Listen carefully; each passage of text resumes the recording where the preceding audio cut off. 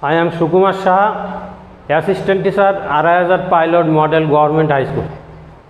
Dear students, welcome to all of you. Hope you are well during the days of coronavirus.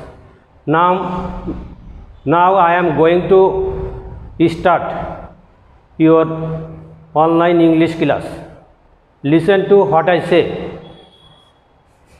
Today's subject matter tense and its kinds present tense and its kinds tense what is tense tense refers to the time when an action is completed kinds of tense mainly tense is three kinds such as present tense past tense and future tense present tense what is present tense an action which is completed in the present time is called present tense example i go to school past tense what is past tense an action which was completed in the past is called past tense example i went to school yesterday future tense what is future tense an action which will be done in future is called future tense example i shall go to school tomorrow evidence is divided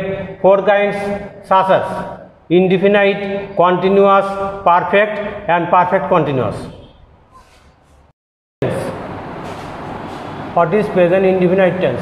An action which is generally or usually completed in the present time is called present indefinite tense. Structure Subject plus present form of verb plus object और extension note if subject third person singular number present indefinite tense S और ES is added at the end of the verb example I work every morning यार I subject work present form of verb every morning extension he goes to school Here he subject was present form of verb to school extension.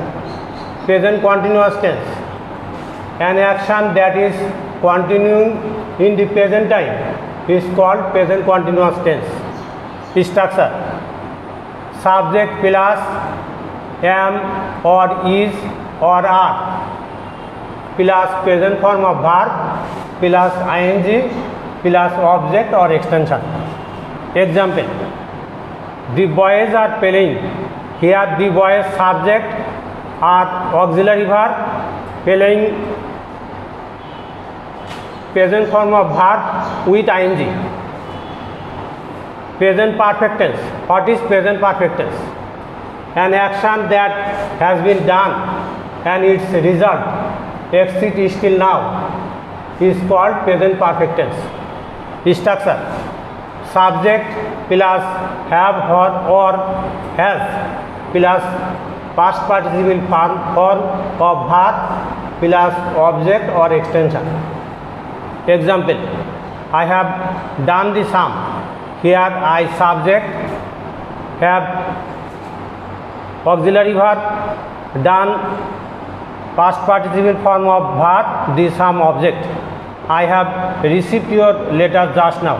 here of auxiliary verb receive past participle form form of verb your letter just now extension present perfect continuous tense what is present perfect continuous tense an action that started before some time and is still going on is called present perfect continuous tense structure subject plus have been or has been plus present form of verb plus I plus for और since plus extension example I have been suffering from fever for seven days here I subject have been auxiliary verb suffering मूल principal verb with I N G from fever for seven days extension it has been raining since morning Here its subject has been auxiliary verb reigning principal verb with ing since morning extension. Okay, today is no more. I shall discuss about the past form of tense the next class.